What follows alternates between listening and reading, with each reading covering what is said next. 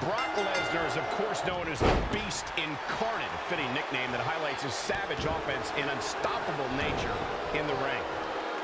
And then you have Hollywood Hogan, a high... There's a slam. We know what comes next.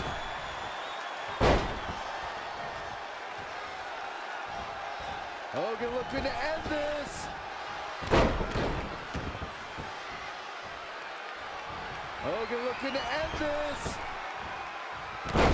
Oh, jeez. There's no way he's getting up from that.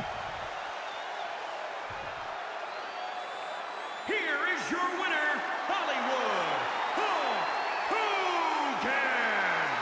Without even breaking a sweat, this one is over.